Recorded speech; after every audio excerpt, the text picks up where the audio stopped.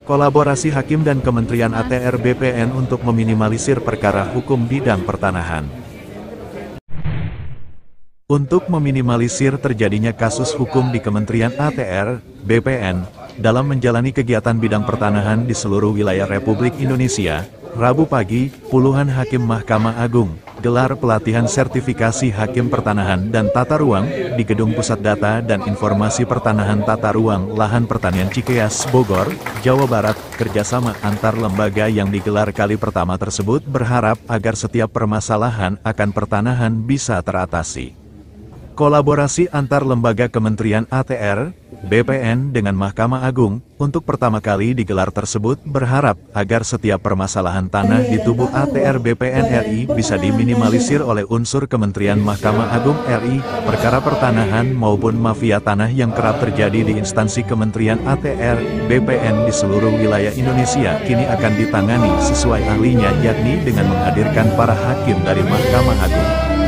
Perkara mafia tanah serta tabunya akan hukum di saat kasus pertanahan yang kerap muncul di setiap wilayah, akan segera tertangani secara perlahan jika sumber daya manusia di tubuh ATR BPN dibekali dan diabing oleh hakim-hakim yang profesional. Aplikasi hakim dalam urusan pertanahan dan tata ruang. Saya bersama Yang Mulia, Ketua Mahkamah Agung Republik Indonesia dan seluruh pejabat teras jajaran Mahkamah Agung termasuk jajaran Kementerian ATR BPN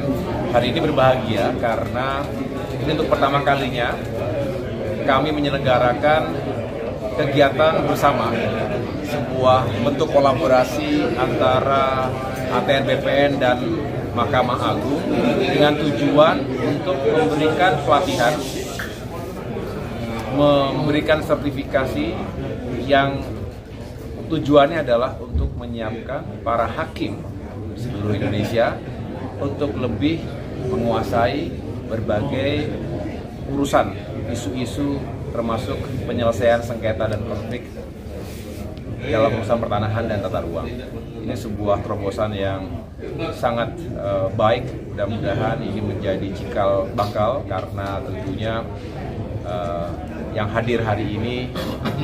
merupakan gelombang atau angkatan pertama, tapi sesuai dari harapan Bapak yang mulia Ketua EMA ini, beliau menyampaikan mudah-mudahan ini bisa terus berjalan karena kalau semua uh, peradilan umum, peradilan tata usaha negara di seluruh Indonesia memiliki hakim-hakim yang memiliki sertifikasi di bidang pertanahan tata ruang, insya Allah uh, berbagai urusan, uh, berbagai permasalahan dan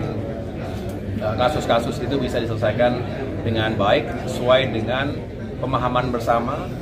dan juga persepsi yang mungkin selama ini masih ada yang berbeda di antara kita.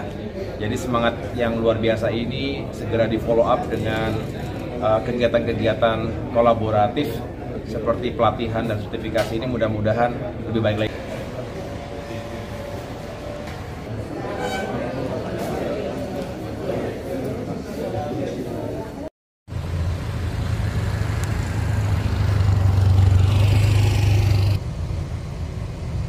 Dari Bogor, Jawa Barat, Beni mengabarkan.